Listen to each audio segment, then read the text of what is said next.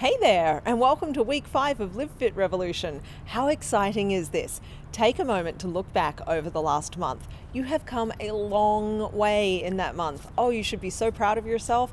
So give yourself a great big hug and then recommit.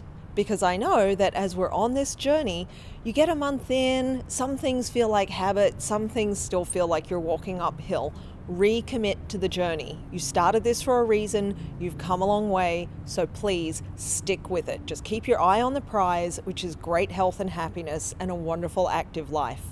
This week we're going to be ramping things up yet again, getting ready towards going towards the end of phase 1. The nutrition plan does change at the end of week 6 and so do the workouts. So please don't worry, we're not abandoning you. Phase 1 super intense Phase two, things expand and change a little bit. I'll keep you posted. Have a great week. Bye bye.